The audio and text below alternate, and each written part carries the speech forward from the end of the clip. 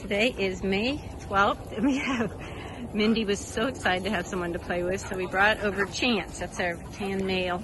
Mindy's a little, it's like she's some boxer in here, little female. She wants to play with somebody. She wants to play with all of them. Chance has done a really good job making everyone feel comfortable. So here's little Mindy.